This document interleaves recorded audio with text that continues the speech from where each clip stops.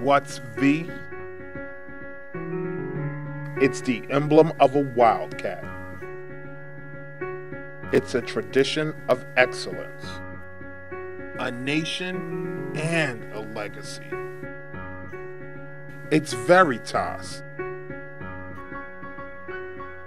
Vision. Valor and victory. It means that we believe. 1985? Ha ha! The Cinderella of all time.